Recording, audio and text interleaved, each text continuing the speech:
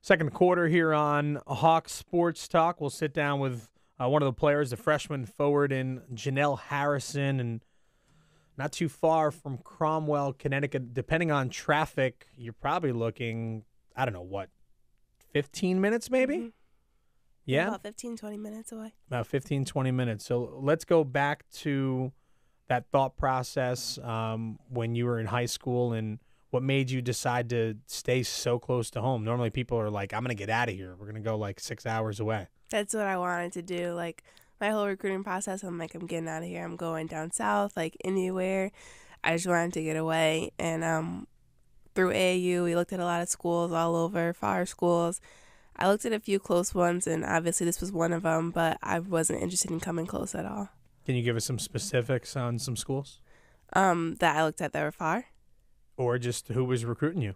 Um, I was recruited by, well, it's a tough story because I, in the middle of my recruiting, I got hurt. But in the process, I was looking at, or Clemson was looking at me, and I was definitely interested in that one because that was down south. Um, they had a good program. My AAU coach and their coach had a good relationship, so that was one of like a big interest. Um, there were a few in North Carolina that we looked at and um, I looked at a few in Boston, and even that was farther enough for me. I just wanted to get anywhere out of state. And then in state, I looked at this school, University of Hartford, Sacred Heart, and Fairfield. So obviously, you had a laundry list of schools to take a look at.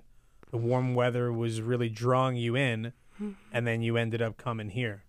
So, what was it about the University of Hartford? And I'm pretty sure that uh, the name Rizzotti comes along with it. But what, take us back to that moment where you said, "Yes, I'm going to stay very close to home."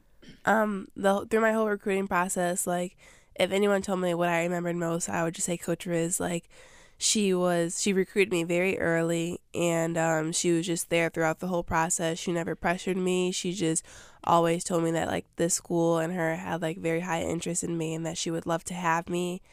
And um, uh, the day that I got hurt and it ended my AAU for that season, I actually fell into the chair that she was sitting in in our tournament and she was there when that happened and she emailed me and let me know that like she knew what happened and she knew that I would have to get surgery and that that didn't affect any of her decisions and that she still wanted me and that she would like give me whatever I needed and like that she was there for my support and that definitely like um was a determining factor that tournament I made my decision and I called her when I got home and told her that I wanted to come and she was so excited and um it was just I just loved like her support and just the way she like she really made me feel like this was home for me and like she's just I don't know she was like a big influence of why I came here.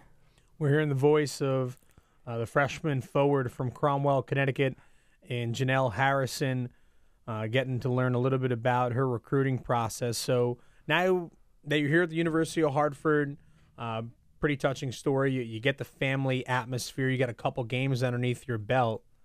How do you like college so far? I love it. It's a lot. It's def it's definitely way different than high school basketball, but um I love it. It's fast paced game. Um I love my team playing with them. And we've had a little bumpy road, but I definitely think that we're getting to the swing of things and that we have a good future ahead of us. Let's go to the the first moment where you had a wow factor. Where, you know, I don't know if it was in the first game against Cornell or wherever it was where you were kind of like whoever you're guarding or whoever, you know, you might be going against, you're like, wow, this person's pretty good.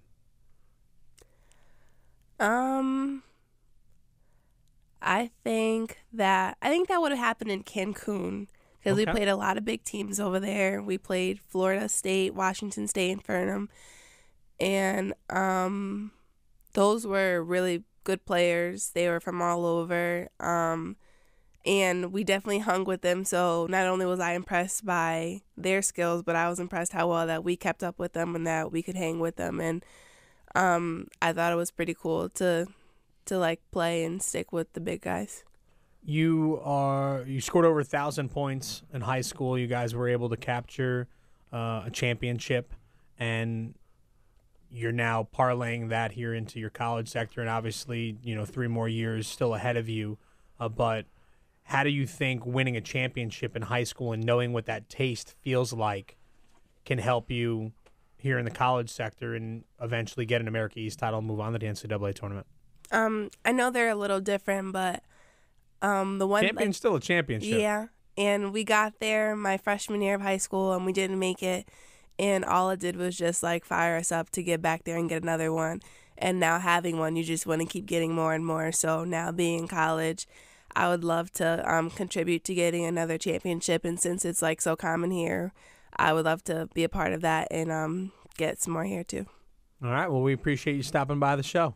Thank you. That's the freshman forward from Cromwell, Connecticut, and Janelle Harrison. We'll take a break here on Hawk Sports Talk. We'll move up a class and we'll sit down with one of the sophomore members of this Hartford women's basketball team. You listen to Hawk Sports Talk here on 91.3 FM, WWUH.